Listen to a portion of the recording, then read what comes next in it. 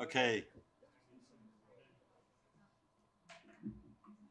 So we are very, very uh, honored and um, grateful that uh, today we're going to have uh, uh, Yesha, uh, Yadav, and Rod Garratt who are going to um, illuminate us with their wisdom on, on uh, digital currencies in particular.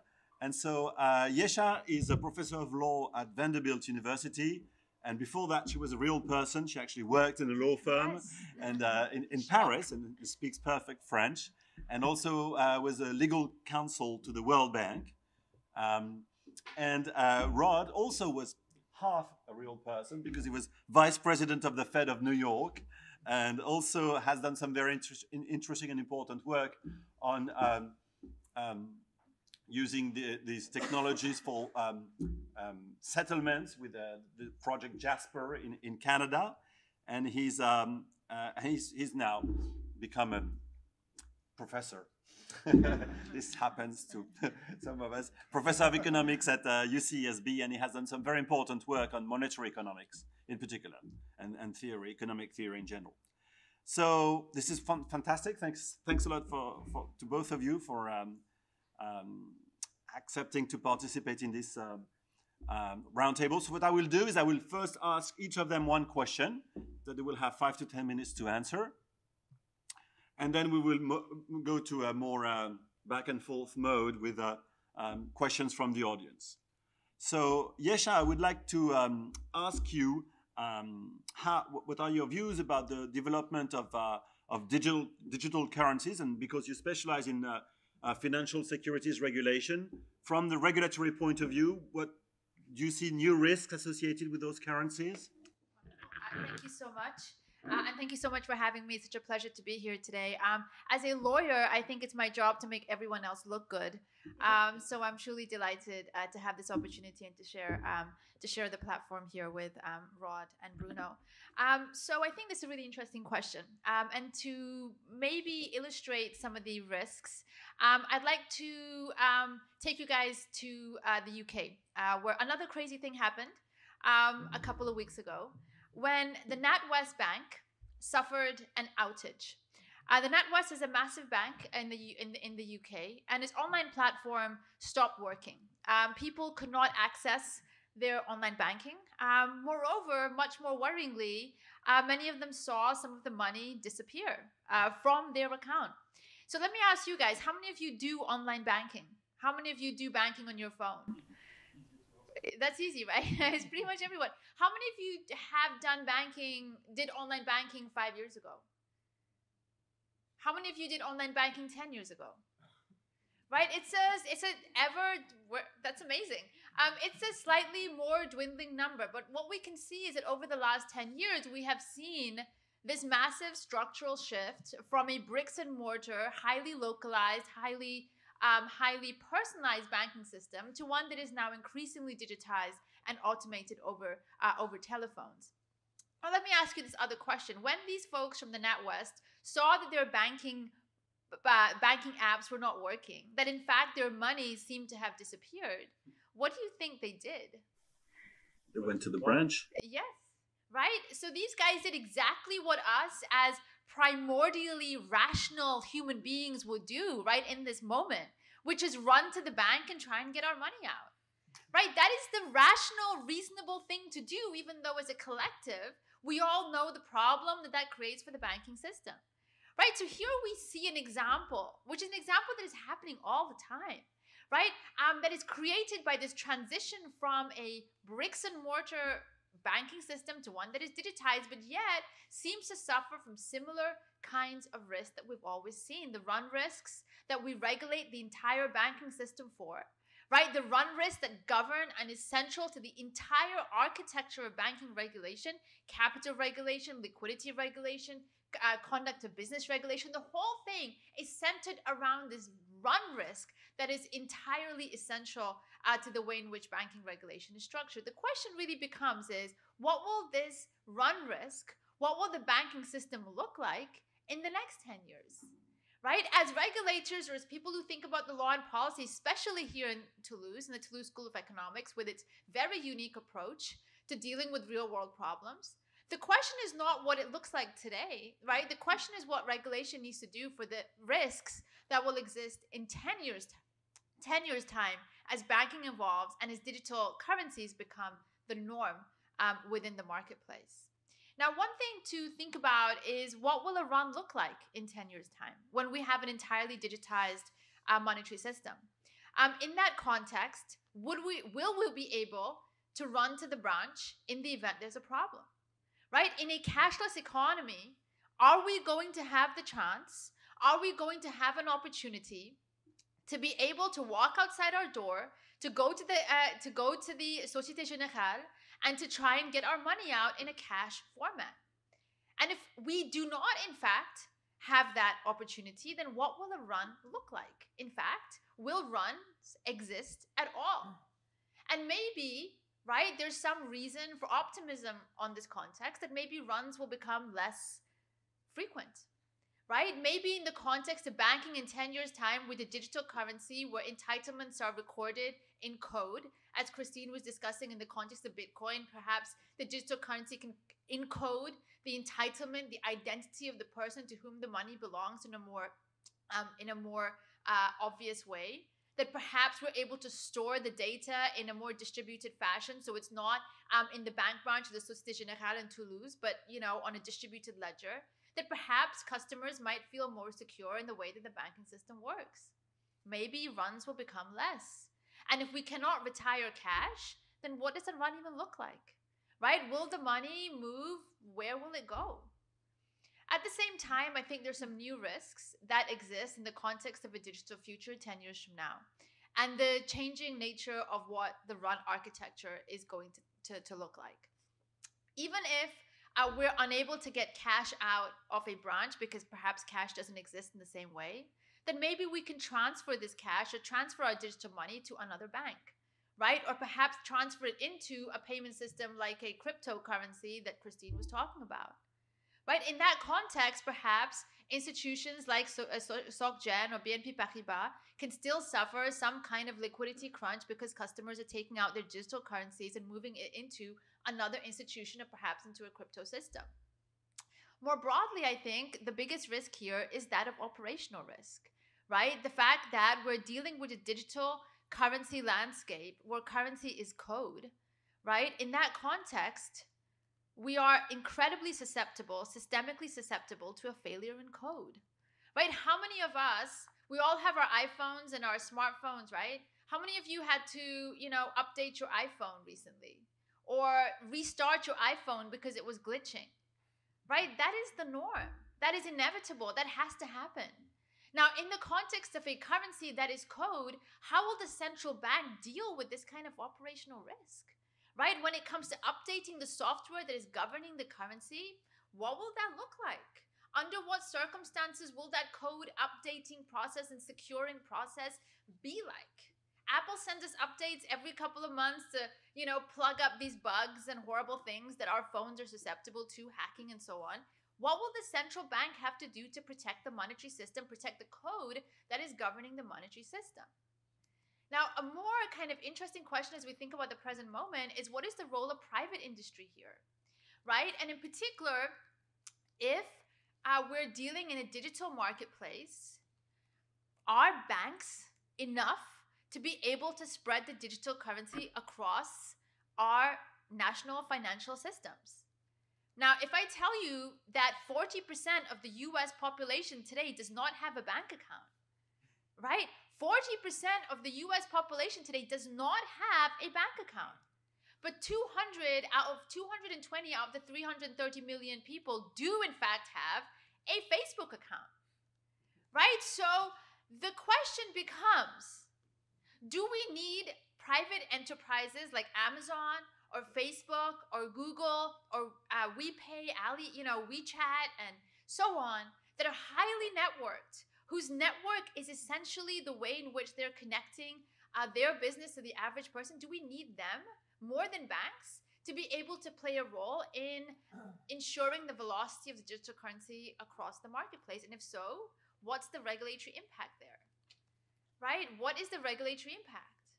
So, thinking about the third part of this is the interaction and the interconnection between the central bank digital currency and the central bank needing to move that digital currency, the potential reducing role of banking, as well as the potential for us to have to increase our reliance on private companies with highly networked business models such as Facebook or WeChat or so on.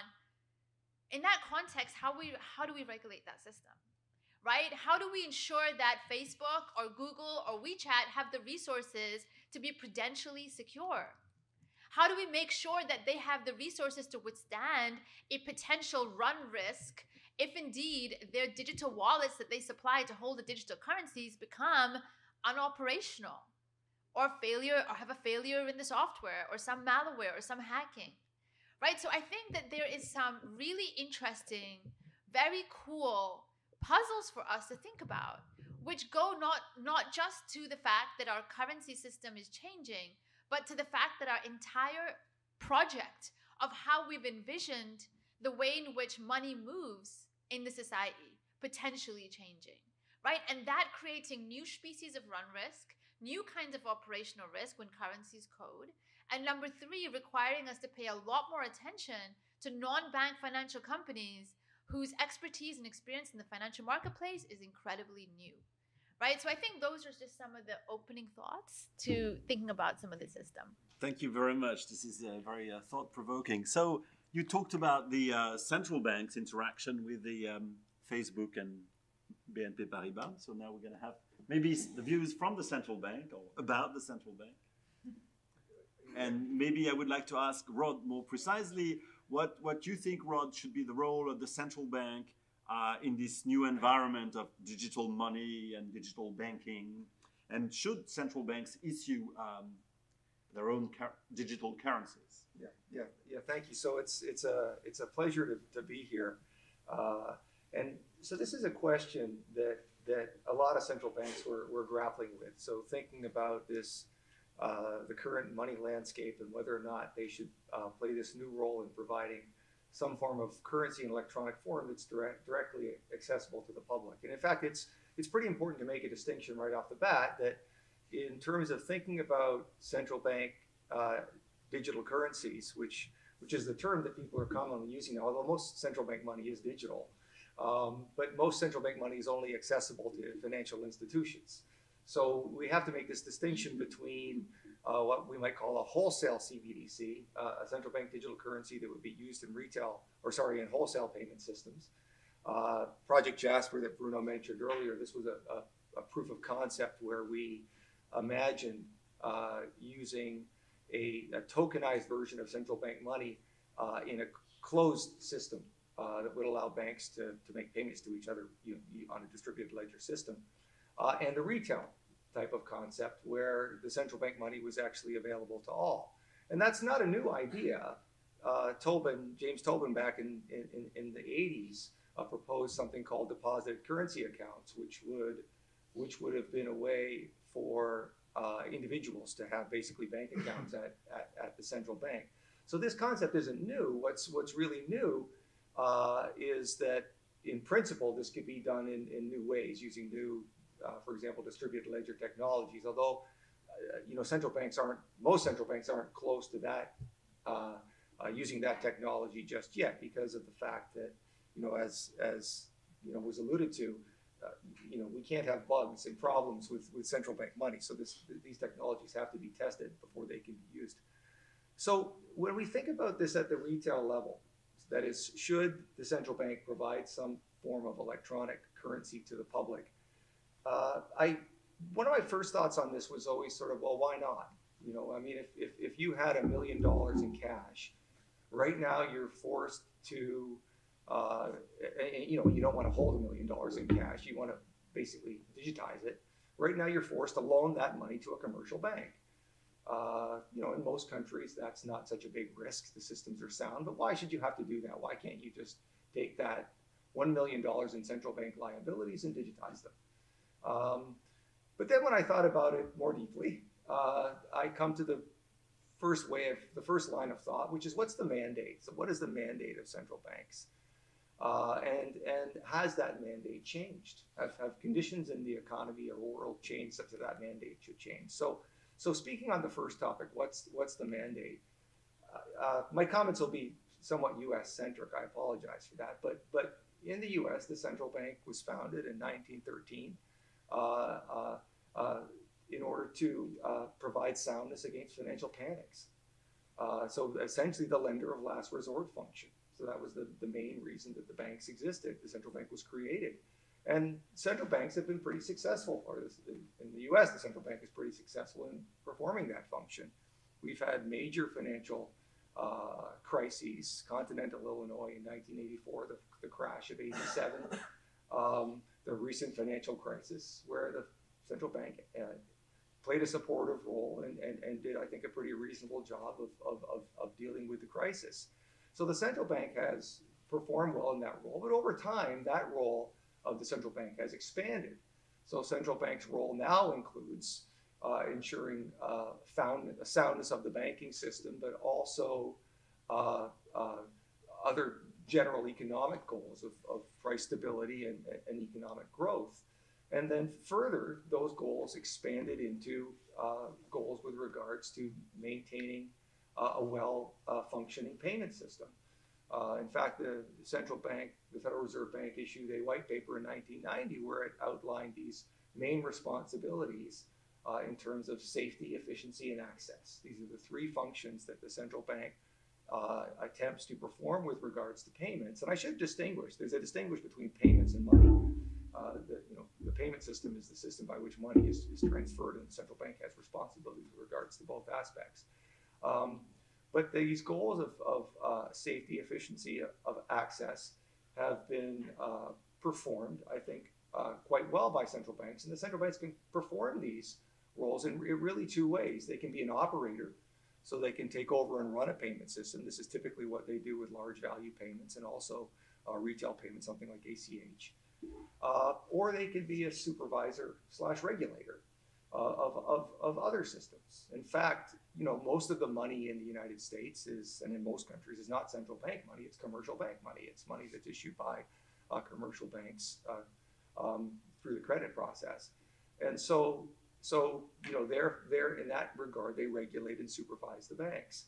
So the central bank can play either a, a leading role or a supporting role. And so when we get back to this idea of central bank digital currency, should they issue one? What, what role should they play?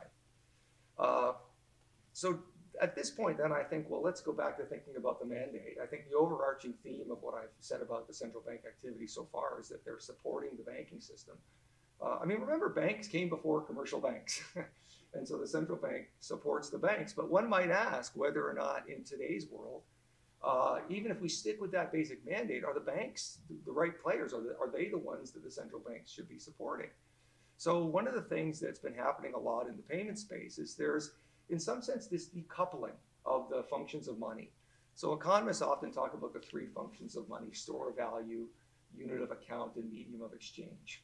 And a good money was something that had all three of these properties. In fact, when Bitcoin first came out, there were all these articles that said it's not money because it's it's not good at all three functions. There were these there were these great blogs. Uh, uh, Krugman's blog was Bitcoin is evil. There was there was another great blog, uh, uh, uh I'm forgetting the name, but but the title was "I Want Bitcoin to Die in a Fire," and these were these were people that were writing blogs that were basically arguing it's not good because it's not a good money in terms of all three functions. But things have changed, and and now people are decoupling these three functions. And if you think about what's happening in terms of a lot of initiatives. Uh, um, what they're really doing is they're leaving the central, the unit of account store value aspect with, the, with, with fiat money, and they're trying to uh, capture the medium of exchange aspect and, and, and, take over this aspect. And, and, and, and they do this in a creative way. So if you think about things like Venmo in the United States or Alipay in, in China, what they're really doing, they're still transferring commercial bank money or central bank, it's backed by central bank money. Uh, but they're doing it on these new platforms. And more importantly, they're, these, these are highly integrated often with other aspects of these platforms. So if you think about the Libra proposal in particular, uh, this is a you know the Facebook platform. It's thinking of integrating all of your other social aspect uh, aspects of your social life uh, in with your payments. Uh, and so this really changes or should change, I think, the way we should think about payments. And and uh, Brunnermeier, uh, James, and Landau had this really nice paper where they talk about, in some sense, the, the inversion of financial services. So, in some sense, thinking about the idea that banks used to play a central role in payments, and these were supported by by other players, and now there's this inversion where these other players are the key are the key drivers of, of payment activities, and the banks support them. Uh, and if we think in those terms, then then then maybe the central bank, if if we stick with this idea that they, that they play a supportive role. And by the way, if if the central bank was to think about issuing a, a digital currency that is providing electronic currency to the public, that would require a change in the Bank Act. Uh, this is not within their existing mandate. So this would be a decision that uh, not only central banks would have to make, but governments would have to make. Um, but if the central bank uh, decided to stick with the supporting role, then I think the interesting question is who, whom should they be supporting? Okay, and if you think about what's going on in China, uh, so in China, um, there's this uh, new uh, initiative where I think possibly within months, China will be issuing a digital currency. They call it digital currency electronic payments, which seems kind of redundant. It seems that the, first two words and the second two words say, say the same thing. But uh, this is a this is an initiative whereby I think essentially they would provide uh, uh, the liquidity that's used in say Alipay. So instead of Alipay moving around commercial bank deposits, Alipay would move around uh, central bank deposits of, of the public. So, so there is certainly precedent, or there soon will be precedent for this idea of central banks uh, playing a supportive role but changing the players whom they support. So I think that is is maybe one of the most likely things. So, getting back though to the idea of the central bank uh, being playing the primary role, one question I, I I have then is that you know are we even able to do that? Like, are we just sort of kidding ourselves uh, that in this world the central bank could provide a currency that anybody would want to use? Uh, especially in this world where these things are so integrated with other aspects of social media and social platforms. And this isn't the central bank's strength. This isn't what they do. Uh, so I think if the central banks did try to provide some form of electronic cash, they would most likely not do it on their own. Uh, they would do it through, I think, commercial banks. So a very natural way that this would happen would be that you would uh, suddenly be able to have a savings account, a checking account, and a central bank account at the, the Royal Bank of Canada or, or, at the Bank of America. This happened in the United States. Um, so these are the things that I think are possible. Lastly, I should say there are other aspects that one could consider. I mentioned the privacy aspect in my talk earlier. Um, that's that's that's certainly that's certainly one thing. Um, but but broadly speaking, I think that uh, you know generally speaking, central banks have played a supportive role in the financial system, uh, and I think they can uh, continue to do that. Uh, offering central bank currency on, on their own is one solution, but they can facilitate uh, uh, private sector initiatives to offer something that's that's almost equivalent. I think that's that's uh, might be a better way to go. Thank you. So, um, Yesha and Rod, you mentioned commercial banks, you mentioned central banks, you mentioned Facebook, you even mentioned Krugman, who said Bitcoin was evil.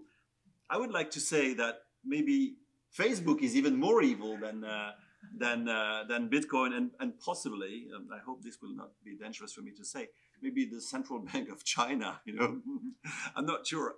So so th- there was this dream uh, with with um, blockchain and Bitcoin that there would be some distributed um, um, ledger that would not be captured by a central authority. Um, it seems. What, what, do you think about that? Do you think there is there's any hope of that, or any chance, or it's doomed? Well, it depends what kind of a distributed ledger you want to create, right? So um, the ledger comes essentially from this Bitcoin idea where you have um, different nodes being able to record the transactions, being able to um, do a few things, which is make sure that the transactions are verified in accordance to some set in accordance with a set formula. To then, um, after verification, uh, put this uh, transaction on a ledger. And what this does, essentially, the idea behind it is to reduce the need for a central intermediary. So, one of the questions earlier was what happens if you have an exchange, you centralize intermediation function. The idea behind distributed ledger, when everyone across the different nodes is uh, verifying information automatically in accordance with certain codes, making sure it's correct, and storing that information in a distributed fashion across these nodes, that that provides a more secure way of storing information and checking information for this distributed ledger. That is the basic idea that uh, governs the way in which Bitcoin transactions are done and which people have been super excited about for a long time in the financial markets.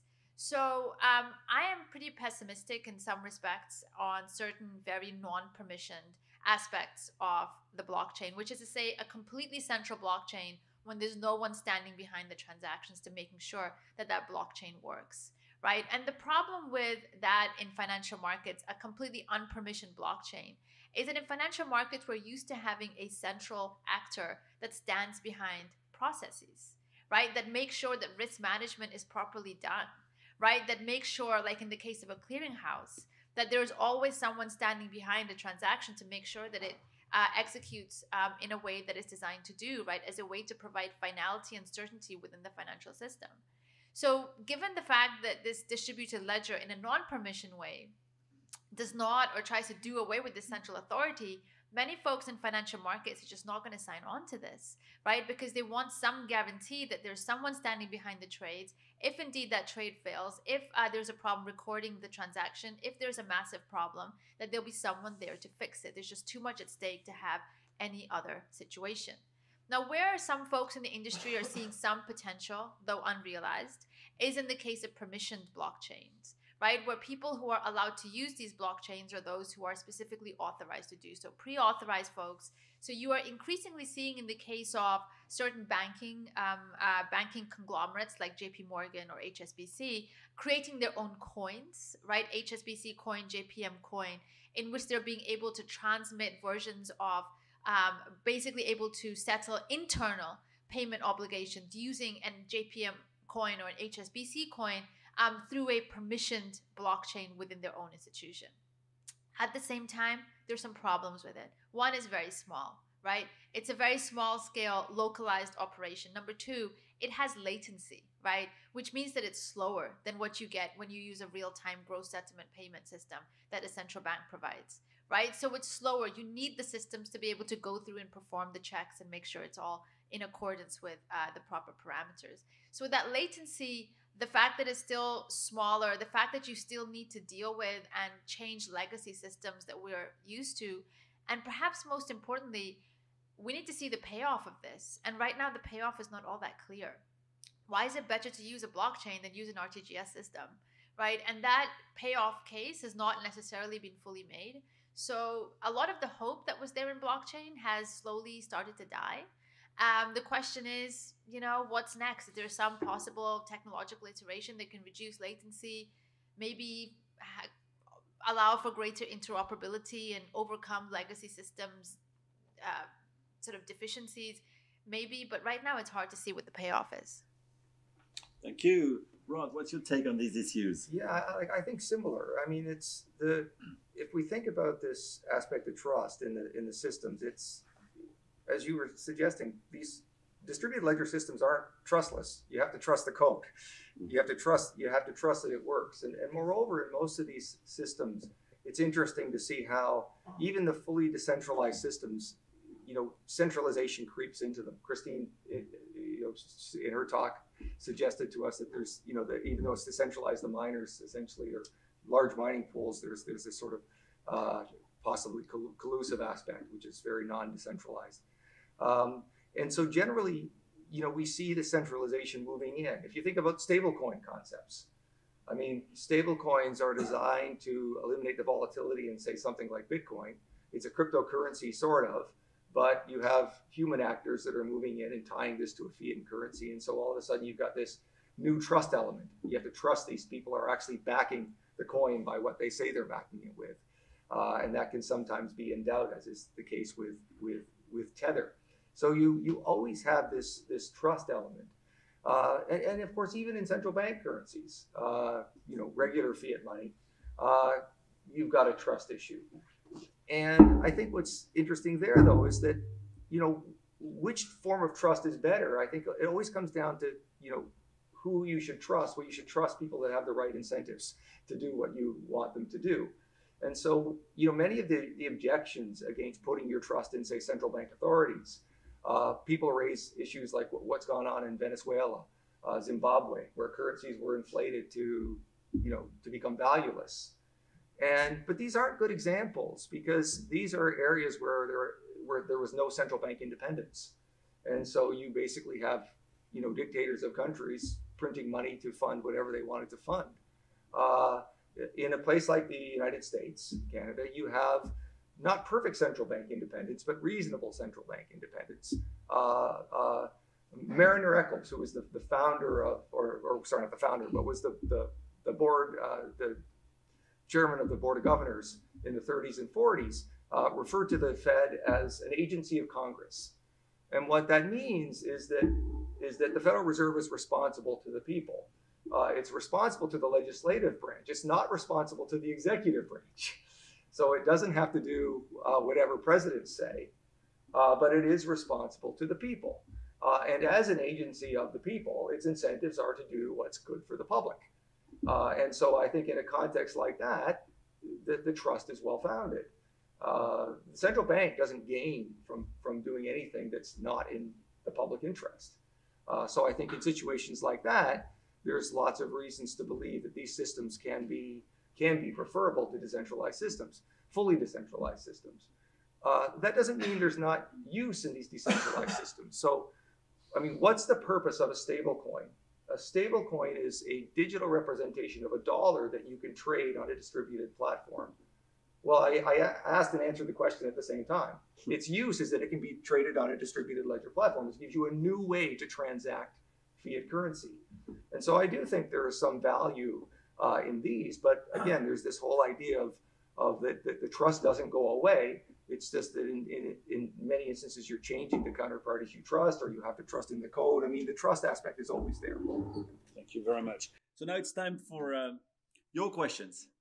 Yes, Christine. Um, so, oh, if banks are if, if banks are no longer part of the payment system, do we have to regulate them? Um, I would say absolutely, right? Um, because we are in a universe in which money is moving. Uh, there are many different things that can go wrong in a payments um, environment. Uh, one can have, for example, just basic snafus that can take place. For example, someone um, is using suboptimal technology uh, so the data can be hacked. Um, one is um, using digital wallets in a way in which um, they are potentially unable to cope with surging demand at certain times. So, for example, when people get paid on a Friday, that maybe the digital coin doesn't work as smoothly as it should. Um, perhaps a payment is made in error, um, and in those situations, you need to reverse the transaction.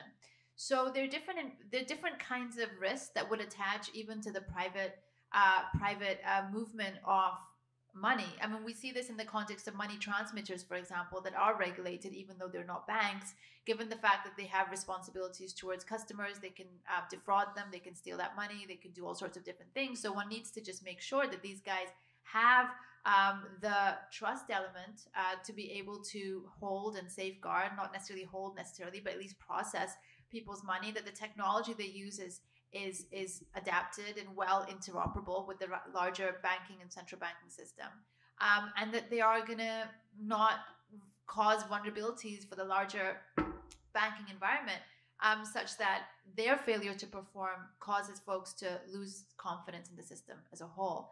So that um, you know, the question is an interesting one. One could say that maybe these guys can regulate themselves. You can have some kind of private ordering that can do that. Um, that's not unprecedented. So here in, in the EU, we've had SEPA, the Single Euro Payments Area. Um, SEPA has been very much a case of a privately led initiative, initially by the banks, but also non-bank payment providers that have um, come together to create rules, private rules the road for the scheme. At the same time, there's certain things that they need from a regulatory standpoint, which resulted in the Payment Services Directive in 2000 and whatever, six, seven, um, that allowed these money transmitters to be subject to certain basic standards in order to make sure that we trust them enough to ha- give them the money to process and to create the network effects that that system needs.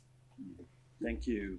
Rod, what's your take on this? Yeah, well, I mean, it's a, it's a, it's a pretty extreme scenario that the banks aren't involved in payments. Uh, so I think, you know, we'd be thinking about a situation, I guess, where banks were, were fully dis- disintermediated. So, you know, they weren't acting as deposit institutions anymore. They were just pure investment banks, in which case they, they'd be regulated the way uh, uh, investment banks are regulated. So there'd still be issues associated with what they're investing in, uh, consumer protection, uh, financial stability concerns. But, but uh, yeah, I mean, that's a pretty extreme world when the banks aren't involved in payments at all. Thank you. Yes, Noor. I have two different questions. One is about monetary policy. I mean, what would become our monetary policy if we have uh, this digital currency? And the other one is faced to the risk that you say about networks and maybe cyber war and so on. Maybe as a customer, I will, start to change my behavior. I may maybe uh, go to some old-fashioned banks. I will pay more fees, but just to keep some uh, usual cash or I will stay to have some gold or other things to be sure that uh, it's a hedge against this type of risk. So is it well, because if in the US you have 40% of people that uh, do not have uh, a bank account, then well, maybe we still have, have, a lot of people that will have either old-fashioned uh, accounts or gold or whatever. Yeah. Yes, Shane Rod. Yeah, I guess I'll, I'll start. So, I mean, one thing I should say is that most of the comments I sort of said earlier really did apply to developed developed countries where a, a, a large fraction of people are banked. Uh, there was, I was recently visiting the, the Bank for International Settlements and worked on the, the G7 report on, on global stablecoins. And, and in that report, uh, it's acknowledged that, that, that, you know, that the, two biggest issues in payments are one is global uh, international payments, issues of making international payments and access. Um, so these are issues that, that, that people really need to work on and are working on. But within the context of, say, developed countries, uh, where people are primarily banked, then, then you know, the, the, the, new issues associated with thinking about things like central bank uh, digital currency have, have many monetary policy issues. Uh, so one, one thing people talk about is this zero lower bound issue. Uh, that one of the reasons interest rates can't go negative is that then people would convert deposits into cash. Uh, but if you have a digital uh, currency that there's no cash, then you can charge a negative interest rate on the on the digital cash, and it, it allows some more flexibility in monetary policy. Uh, people talk about other aspects such as uh, the fact that you could maybe do monetary policy more precisely, because instead of monetary policy working its way through the financial system, you could you could implement it directly with consumers who hold your who are essentially your account holders. Um, and then the last thing I'll say on it is that this is this is actually why uh, the Libra announcement was so important, how, why it had such a big impact, uh, say relative to Bitcoin. Uh, you know, Bitcoin has been around, and central banks have been thinking about and talking about Bitcoin for quite a while. But Bitcoin is incredibly small; it's negligible in terms of its size uh, and what it means to central bank activity. Uh, seven transactions a second, the SegWit maybe 14 transactions a second per second. Uh, Visa's 20,000, Alipay's 100,000 a second. It's absolutely insignificant. Uh, but Libra, the proposal for Libra, not so much. uh, you know, Facebook has billions of customers, so uh, uh, billions, a billion, whatever customers. So all of a sudden, this thing could be massive. And uh, equally importantly, it is, uh, it is denominated uh, based on a basket of currencies or backed by a basket of currencies, which means it would be its own unit of account. And so this means that it would essentially be a, a private competing currency with the US dollar, with any currency in any, in any domestic country. And so that impacts the ability to conduct monetary policy. So, so these things can have huge monetary implications if they're large enough. Mm. Yeah. So I just wanted to um, speak to the behavior question. Um, the I think it's a great one, and it's one that is on the minds of many folks, which is to say that if we are in a completely digitized world, digitized world maybe people will feel over you know, over surveillanced. Um, they will feel like maybe their money is not safe if these NatWest type of situations always happen. There's apparently five IT snafus a week in the UK. Um, and so the question is maybe they change their behavior and they move maybe into Bitcoin or they try and find cash where they can do it. there is, however, I think a generational situation here, which is to say that the younger generation, the millennials, the Gen Zs, are much more comfortable with an entirely digitized payments environment. I mean, I have students who are transacting almost entirely in Venmo with one another, um, who have no problem giving up their data um, on their phones, who have no problem publicizing what they're spending their money on. And so it seems that digital natives, folks who have never known anything else, um, that maybe they're going to be much more comfortable and that the behavioral shift will be smoother into accepting a very digitized form of payment and in accepting the monetary consequences that might come from it. It may feel more natural to them. The other side of it from a developed developing country perspective is also very interesting, which is to say that many new payment providers have provided uh, services which have never existed before in those countries. So in the case of WePay and Alipay in China, um, they built their own payments networks because banking networks for servicing actual normal citizens just did not exist on that scale. There were no credit cards to speak of. And so they built their own networks. And WePay, I believe, has something like 900 million regular users a month.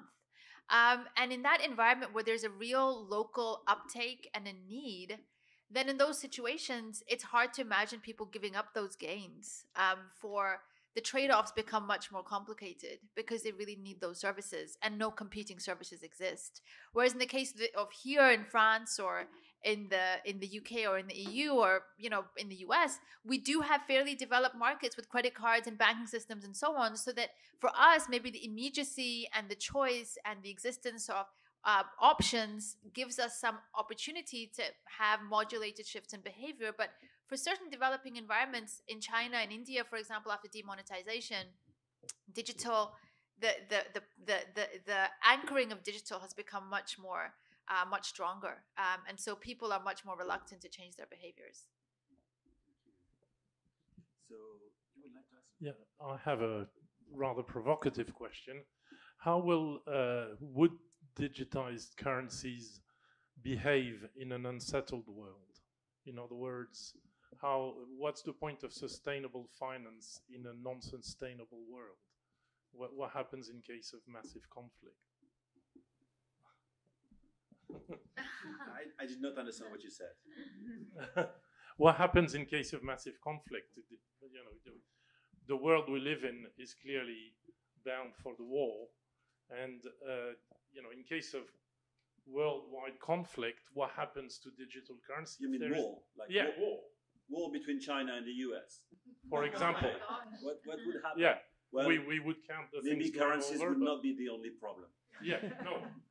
But the, well, indeed, the problem of currency would not be the only problem. But the, the, the, place where my question is leading to is that from the perspective of uh, people who think of trying to set up a sustainable world uh, the if there is a solution, it's probably in thinking small and thinking smaller structures.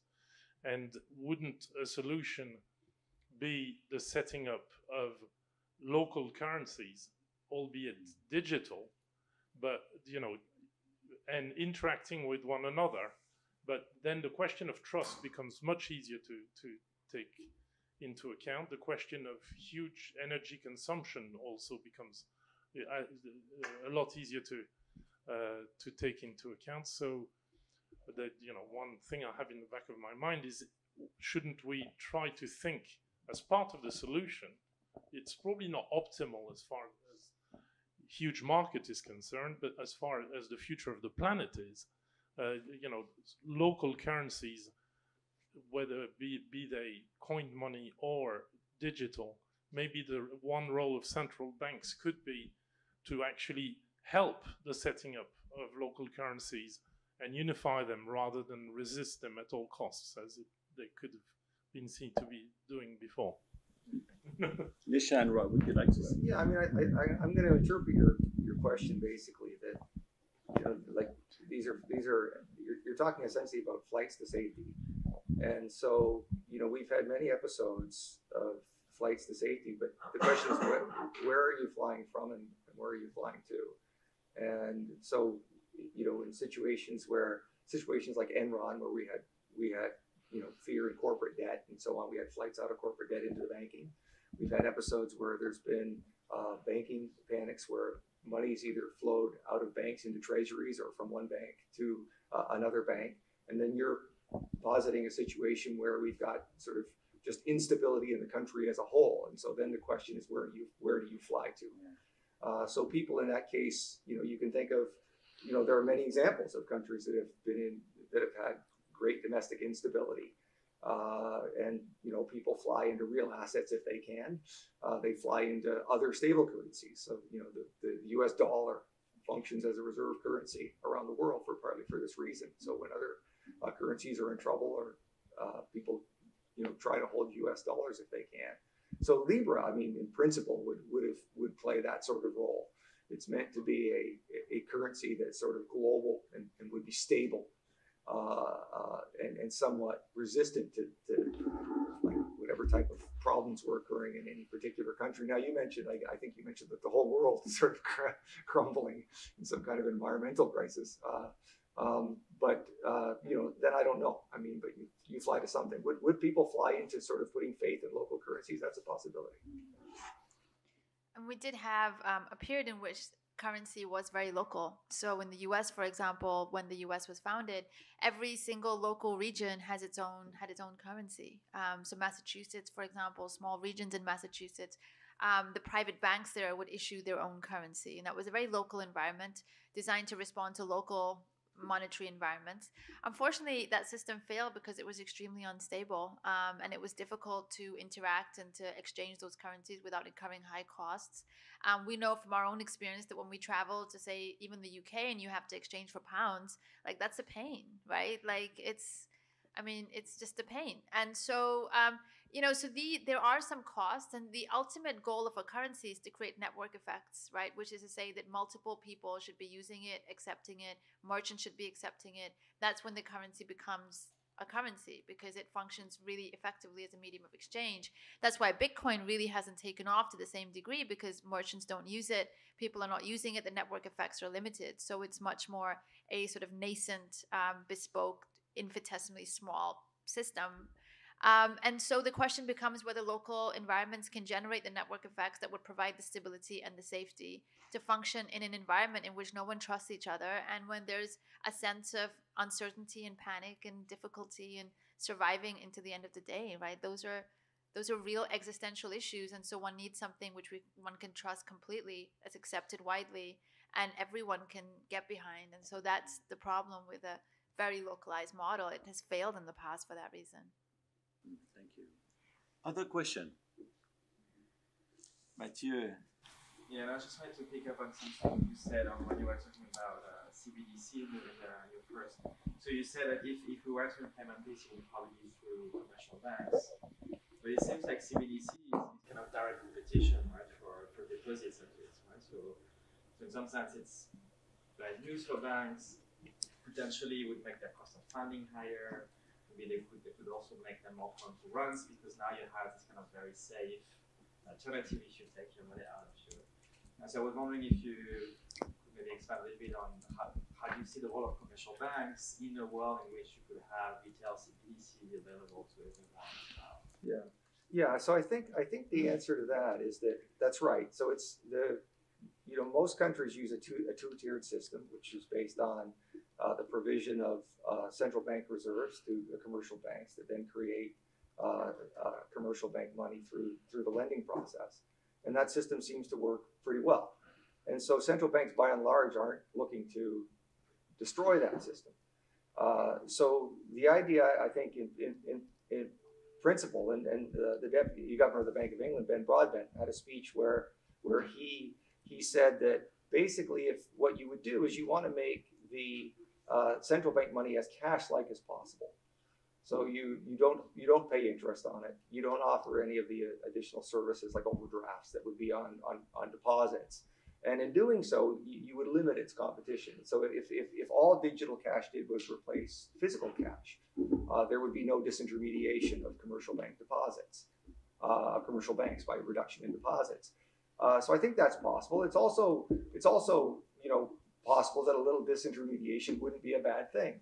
If you look at if you look at the United States experience, uh, uh, you know, since since liftoff in, in 2015, the, the, the, central bank raised the federal funds rate uh, many times, uh, from, from from basically zero up to around three percent in, in, several steps, and then back down a little bit. Uh, but but during that time, the, the, that's so that's so this uh, sorry so they raised the interest on excess reserves, which which which which led to a raise in the federal funds rate. But the interest on excess reserves is the rate that commercial banks get paid to hold your money. Uh, so at a time, this was close to three. This was close to three percent. commercial bank deposits, non-jumbo deposits, didn't come up at all. so you didn't get any of that as a, as a depositor. So uh, maybe a little disintermediation would be a good thing. But I think the idea would be that this would be done in a way that manages that. Again, if it doesn't pay interest, uh, if it doesn't offer any of the other services associated with commercial bank deposits, then it's possible that all you would all you would do is basically be replacing physical cash. Yesha, would you like to add on this or? I'm good. so one last question for Christine. um, so you, you mentioned the Project Jasper. Um, if you could talk, so what was the point and was it better than the existing systems or yeah. why are we doing this? Yeah, so yeah, so so why is because I mean the, so the quick history is that you know the price of Bitcoin went up to twelve hundred dollars back in 2013, 14, and everybody was like, "What's Bitcoin?" Uh, and so there was a lot of excitement around Bitcoin, and then people started saying, "Well, you know, we don't think Bitcoin is that useful. It's too volatile and all that stuff, but maybe the underlying technology has value." So people started thinking, well, let's think about distributed ledger technology and what it might be useful for. So basically, it was exploration. So, I mean, central banks have two reasons for understanding distributed ledger technology. One is they have an obligation in terms of uh, the payment systems, and so they should investigate any new technology to see if it's useful. Uh, they also regulate and supervise the banks, and if the banks are thinking of using this technology, then they need to understand it for those reasons. So partly banks were, were doing this to just understand what the benefits might be. So this new technology was there, uh, and so at, at, the Bank of Canada, we did this proof of concept where we were looking at the simplest application, which was wholesale payments.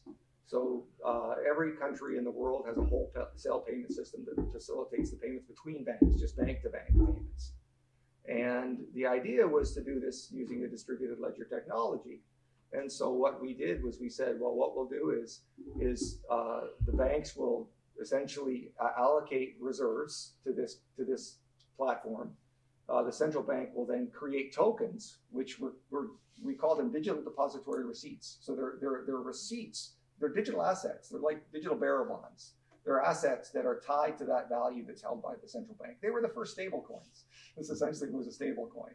Uh, and then these were moved around in the platform. And advantages are that you know the transactions are initiated bilaterally. It could operate uh, 24/7. There was this idea that it might be more resilient no single point of failure. So there are all these ideas, but you know when you actually do it, you realize it's actually more complicated because one thing you need is privacy in these payments. So uh, a payment from bank A to bank B in the, in the financial system can't be seen by bank C. And so when you introduce these type of privacy requirements, uh, it starts to limit some of these uh, potential, what were thought of as being potential advantages. So in the end, it was decided that there were no real advantages uh, in doing wholesale payments on a distributed ledger platform. But I, I, I want to add that we kind of felt that going in, but that we're but but this is all was it's all supposed to be part of a bigger picture, a, piece in the puzzle. So the idea is that what we're ultimately thinking is that if you look at it, things like securities clearing and settlement and cross-border payments, where there are a lot of uh, uh, different parties involved and, and, and costs associated with redundancies and reconciliation and all this sort of thing, that that maybe there would be benefits. Uh, but to get these benefits, say in securities clearing and settlement, you have to have a way to pay, and so that requires this digital this digital tokenized version of cash. And so so it was all part of uh, thinking about down the road of bigger pictures, and those experiments are still going on with looking at other you know broader applications. But but that's it. Really, just started from here's a new technology. We should understand it. Is it beneficial? Let's let's find out. Yeah. I think the only thing I'd add is that I think regulators as a whole today are under a lot of um, pressure to compete technologically. um, to offer a technological, more innovative regulatory ecosystem. Now, perhaps nowhere is this clearer than in Asia, where regulators are implementing a variety of different sandboxes um, to encourage innovation and development of new technologies within their jurisdiction. But part of that is also their own regulatory experimentation. Um, and innovations like Libra, for example, which are you know incredibly radical in their proposal. I mean, Facebook has almost two billion dollar two billion users that uh, almost three billion users rather um, that would immediately create a rival to any central bank um, anywhere in the world.